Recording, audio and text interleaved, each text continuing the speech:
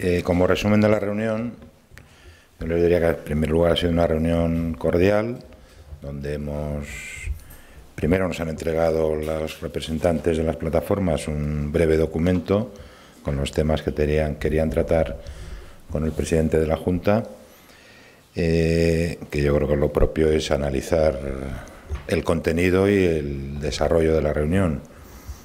Eh, nos han planteado algunas cuestiones relativas al Consejo Castellano-Leonés de Salud y la propuesta de que eh, en las próximas reuniones, alguna de las próximas reuniones, poder participar en este Consejo y lógicamente en principio, pues por parte del Gobierno no hay ningún inconveniente. Eh, el Consejo Castellano-Leonés está constituido por numerosas entidades de distinto orden, está regulado eh, con la participación de eh, distintas entidades profesionales, tanto colegios eh, profesionales de distintas profesiones como sindicatos, los sindicatos generales y también los sindicatos de carácter sanitario. Participan también las universidades de Castilla y León, una representación, Federación Regional de Municipios y Provincias, en algunas ocasiones hemos invitado a asociaciones de pacientes, asociaciones de vecinos y naturalmente pues hemos planteado que no hay ningún inconveniente que en la próxima reunión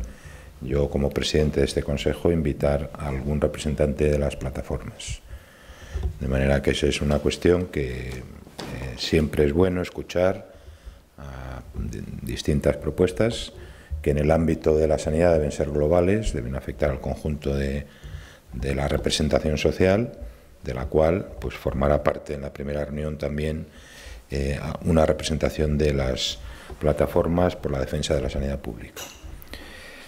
A partir de ahí nos han planteado, creo que les han entregado el documento que nos han presentado, algunas cuestiones concretas.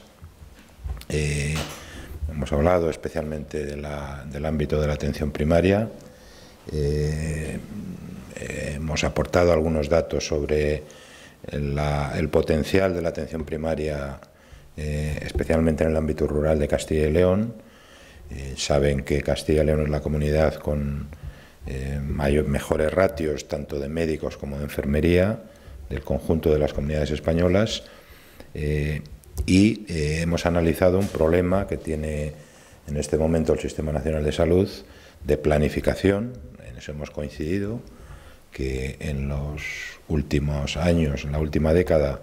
ha habido un problema de planificación de los recursos humanos en el Sistema Nacional de Salud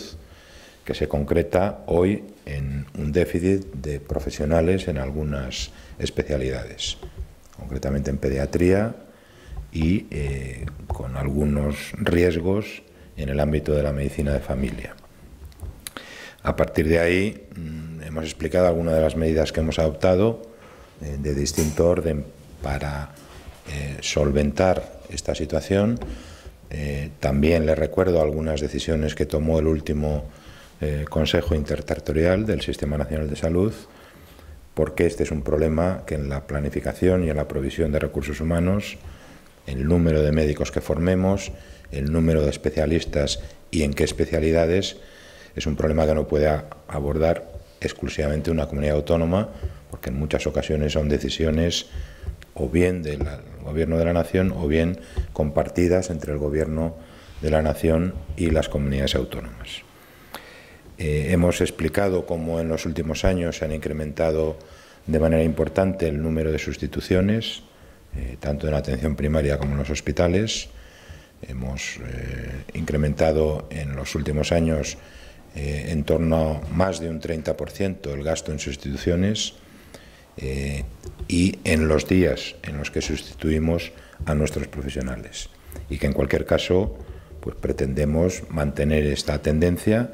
y por lo tanto dar respuesta a una situación que puede ser problemática en el futuro, eh, de la misma manera que en lo que respecta a las jubilaciones. Eh, le hemos informado a los representantes de las plataformas de que todas las jubilaciones que se producen en el ámbito de la atención primaria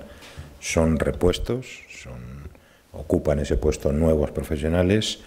y muchas o algunas de las que se producen en el ámbito hospitalario. De manera que ese es un factor eh, sobre el que ya estamos trabajando y que facilitaremos información como nos piden sobre las previsiones eh, de este año 2018 y del año 2019. Eh, ya creo que conocen que en el ámbito de la atención primaria todos los profesionales que eh, solicitan prolongación en el servicio activo, una vez que cumplen los 65 años, autorizamos su permanencia como manera de prever un problema que pudiéramos tener en el futuro en cuanto a la dotación de médicos de atención primaria en Castilla y León. Mm, respecto al cierre de unidades hospitalarias y demás, hemos informado que no, especialmente en lo que comentan en esta nota, unidades de cuidados paliativos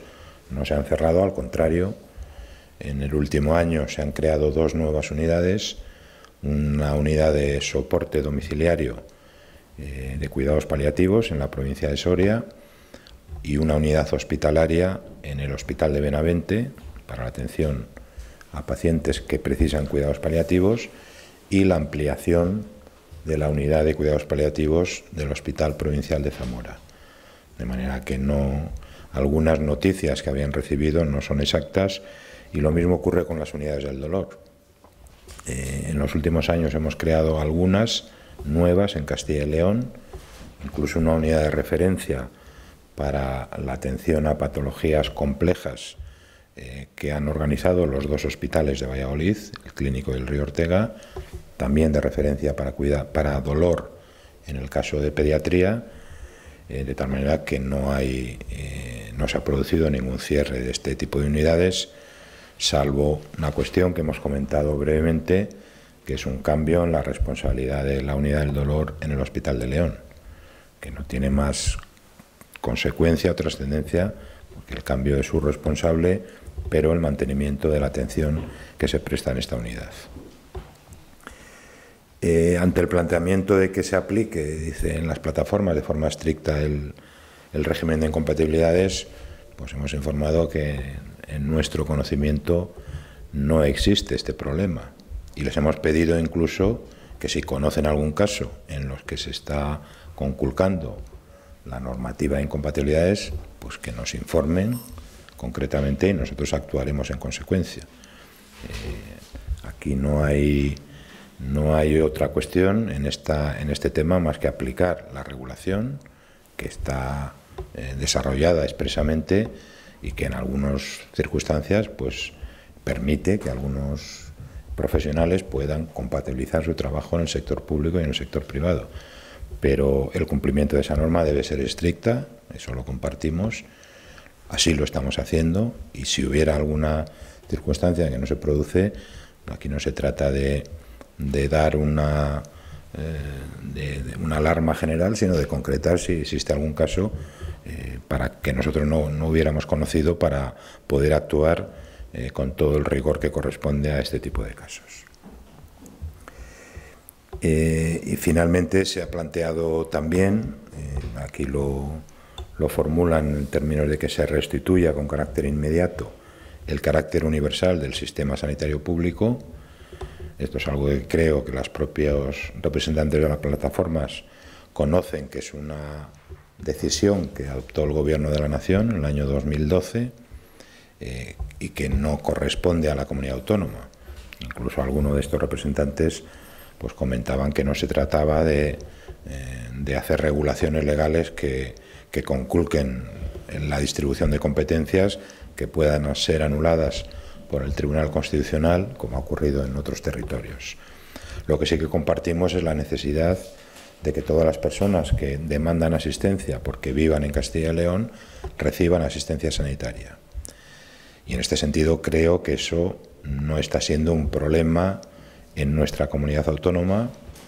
en la medida en que entendemos que todas las personas que requieren asistencia la reciben en condiciones adecuadas. Nosotros en el año 2012 ya elaboramos una instrucción señalando que las personas en situación irregular que habían perdido ese derecho se mantenían en nuestra base de datos de tarjeta sanitaria y que por lo tanto eh, se les asignaba médico, enfermero en atención primaria y entraban en el sistema y en la organización eh, que corresponde a cualquier ciudadano mm, en esa condición. De hecho, no habrán observado ustedes en estos últimos años grandes problemas, grandes debates, situaciones concretas donde no se haya producido eh, la asistencia sanitaria a las personas que lo demandan. En cualquier caso, nos hemos comprometido a analizar de qué manera eso puede concretarse más o garantizarse más. Lo que es, lo que forma parte de un hecho del día a día es que facilitamos asistencia sanitaria a quienes la demandan por vivir en Castilla y León, de qué manera esto podemos reforzarlo, mejorarlo de una con un otro sistema, etcétera. No nos corresponde como comunidad eh, regular ese derecho, pero sí podemos, como creo que estamos haciendo, garantizar o, establecer las garantías de la asistencia sanitaria concreta de aquellas personas que viven en Castilla y León y que no disponen de ese documento, tarjeta sanitaria, que, cuya emisión o cuyo reconocimiento corresponde al Instituto Nacional de la Seguridad Social. De manera que aquí, pues pronto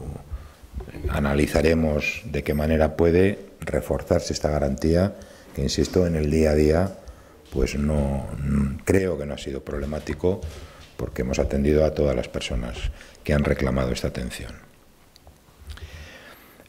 Mm, no hemos hablado apenas de conciertos, eh, lo cual es un, para mí es un motivo de satisfacción porque de alguna manera eh, quiere decir que esto no está en, el, en la gran preocupación, eh, en la medida en que saben ustedes pues que nuestra comunidad es una de las, la segunda comunidad en concreto que menos proporción de su gasto destina a conciertos con centros privados. Concretamente nosotros el último año hemos destinado un 3,9% de nuestro presupuesto a concertar transporte sanitario, eh, asistencia sanitaria en centros privados, algunas intervenciones quirúrgicas, que en los últimos años esto ha ido reduciéndose, este gasto, y que eh, forma parte del modelo sanitario, una utilización complementaria y en nuestro caso limitada de los centros privados. Un 3,9% de nuestro presupuesto y ya recuerdan que en España es aproximadamente del 11,2% del gasto sanitario se destina a conciertos. De manera que creo que es buena señal que no hayamos abordado este tema y que esa bandera de la privatización pues no haya formado parte del contenido de la reunión. Sí hemos hablado de los servicios de los servicios externalizados y en este sentido, bueno, yo creo que alguna idea que nos han trasladado las plataformas puede ser útil en el sentido de aprovechar la potencialidad de lo público en algunos casos, incluso para facilitar eh, algunos servicios no sanitarios a otras entidades, eh, servicios de cocina en su caso, de lavandería, cuando la prestamos directamente, de manera que esa idea de aprovechar la potencialidad de lo público eh, puede ser una idea interesante. Nosotros hemos planteado también que en términos eh, sanitarios lo importante y donde debemos concentrar nuestros esfuerzos en en la gestión de los servicios sanitarios, los que afectan a las personas atendidas por profesionales sanitarios y que al mismo tiempo pues hay empresas que prestan un buen servicio de calidad adecuada en, servicios no sanitarios, como pueden ser la limpieza, eh, la seguridad eh, u otro tipo de servicios que, insisto, eh, pueden ser perfectamente compatibles y que nuestra principal obligación es garantizar, mejorar y gestionar adecuadamente los recursos sanitarios. Pero la idea de utilizar la potencialidad de lo público pues puede tener un cierto interés. Eh, alguno de los representantes ha planteado los problemas de la planificación eh, y lo que deriva, en su opinión, como es una situación, eh, creo que en algún momento se ha utilizado la palabra de deterioro, de caos en la sanidad pública. Yo creo que esto pues, eh, no formaba exactamente parte de la realidad. La sanidad pública está bastante ordenada, está bastante planificada. A veces, personalmente, tengo la impresión de que elaboramos muchos planes, muchas estrategias, que lo que pretenden precisamente es reorientar el sistema público eh, en las direcciones eh, que lo hagan más eficiente y que dé mejores respuestas a, las necesidades de los ciudadanos. En ese sentido, mm, no, salvo en, algunos apartados de la planificación de recursos humanos, mm, pero que no son específicos de Castilla y León, pues no, yo no, hemos podido compartir esa idea de que hay que planificar mucho más eh, y al contrario, pues también hay que facilitar a los profesionales, que son realmente quienes sustentan los sistemas públicos, facilitar medios y procedimientos para eh, mejorar eh, nuestros resultados y para mejorar la gestión sanitaria. Tampoco hemos hablado apenas de las listas de espera, lo cual pues también hace que, mm, que que sea un problema que, tenemos que abordar, evidentemente, que es un compromiso que tiene la Consejería de Sanidad y, SACIL, compromiso de seguir reduciéndolas eh, y que, eh, como saben, pues estamos trabajando en esa dirección. Eh, esta misma semana conocimos los datos de, de las listas de espera en el Sistema Nacional de Salud. Los últimos datos correspondientes a diciembre del año 2017 y de esos datos pues, se deducen algunas cuestiones que apuntan en esa dirección. Castilla y León fue, fíjense, la comunidad autónoma donde mayor reducción se, se produjo en las listas de espera quirúrgica, concretamente en la demora media, la comunidad que más redujo la demora media en 2017 y la tercera comunidad en reducir el número de pacientes que esperan una intervención quirúrgica. Nos situamos como la cuarta comunidad en diciembre del 17 con menor tasa de pacientes en espera quirúrgica y en lo que respecta a las consultas con una eh, tasa de pacientes similar a la media nacional y con un número de pacientes eh, ligeramente superior a la media nacional. Tampoco hemos hablado del barómetro sanitario, no creo que no ha sido necesario, en el que, como saben, pues eh, los ciudadanos han manifestado recientemente una, un grado de satisfacción pues, relativamente importante, ya con, con, una cifra superior a, a 7 sobre 10, 707 sobre 10, que ha crecido respecto al año 2016 y que se sitúa también por encima, como viene haciendo estos años, de la media que expresan los ciudadanos españoles de satisfacción con su sistema público de salud. Y finalmente que, además quienes los ciudadanos que utilizan o que utilizaron la sanidad pública en el último año manifiestan un grado de satisfacción superior al del conjunto de los ciudadanos. Entonces, un motivo creo que es muy importante porque si hay un elevado grado de satisfacción, el que aún sea mayor entre quienes han utilizado la sanidad pública, creo que es especialmente relevante. De manera que, en resumen, una reunión en la que hemos abordado algunos de los temas, especialmente los que nos ha planteado los representantes de las plataformas, que hemos reafirmado el compromiso del Gobierno de Castilla y León con el modelo de sanidad pública que tenemos, eh, que nos hemos comprometido, y expresamente el presidente de la Junta ha hecho una referencia a mantener la sanidad como prioridad dentro del Gobierno, como prioridad política y en particular prioridad presupuestaria, como venimos haciendo en estos años, y que naturalmente los problemas y las insuficiencias que pueda tener la sanidad pública estamos en disposición de analizarles, de abordarlos y lo que también hemos pedido a las representantes de las plataformas es que nos ayuden a legitimar la sanidad pública, que más allá de las críticas, de las valoraciones o de las propuestas, algo, un patrimonio de todos los ciudadanos, un servicio tan valorado eh, y bien valorado por los ciudadanos, contribuyamos entre todos a legitimarla, a prestigiarla y a partir de ahí pues a, a criticar los eh, aspectos en los que de manera concreta está dando eh, no está dando una respuesta suficiente y entre todos pues podamos contribuir a mejorarla. Hay dos compromisos más concretos, uno de ellos es el de invitarles a la próxima reunión del Consejo Castellano de Uniones de Salud y la otra es analizar de qué manera lo que entendemos que es una realidad, eh, que es la atención a todos los ciudadanos que viven en Castilla y León, podemos eh, reforzarla o reforzar esas garantías y estudiaremos a través de qué instrumento, eh, sin, sin conculcar la legislación que corresponde al Estado, pero sí garantizando la atención a las personas que la demandan en Castilla y León.